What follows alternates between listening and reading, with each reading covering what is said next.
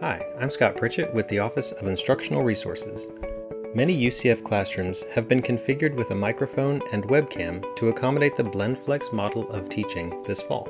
This video will show you how to use a BlendFlex equipped classroom with Zoom or Panopto. Some classrooms may have slight variations.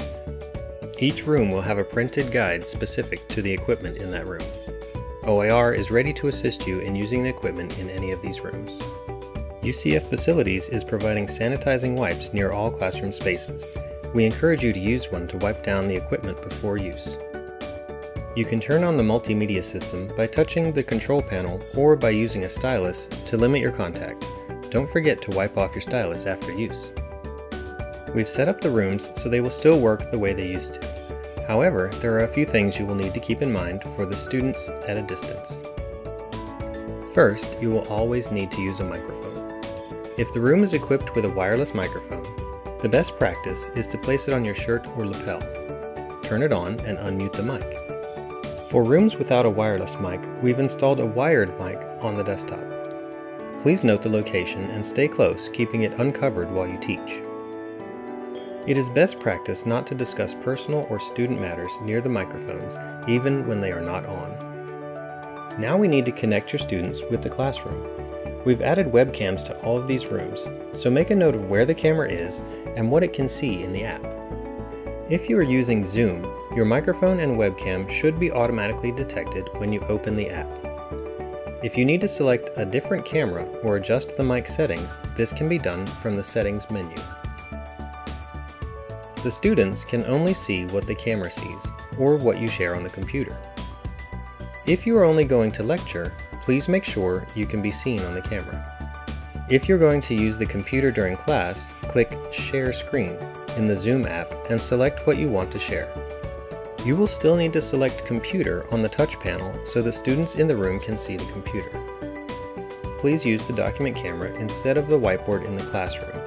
The whiteboard in the classroom will not show up well over the camera and the students at a distance won't see what you write. To share the document camera, first select it on the touch panel. Share your desktop in Zoom. On the window that pops up, select the Advanced option along the top. Then, select the icon that says Content from Second Camera. The icon looks like a document camera. Click Share.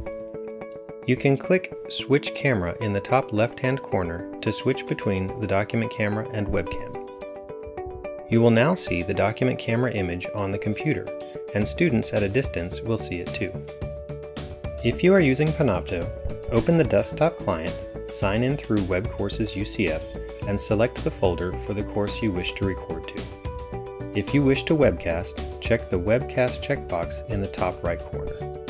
Make sure the correct camera, microphone, and sources are selected.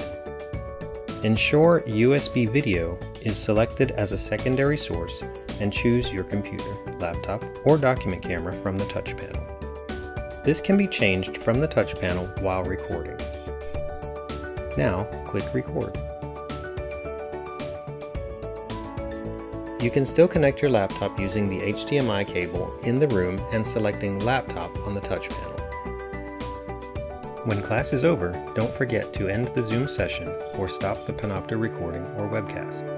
Your Panopto recording will be available in your web course after it has finished uploading. Please remember to sign off of the Classroom PC, return the wireless mic to its base station if you used one, shut down the multimedia system, and sanitize the equipment and area you are using.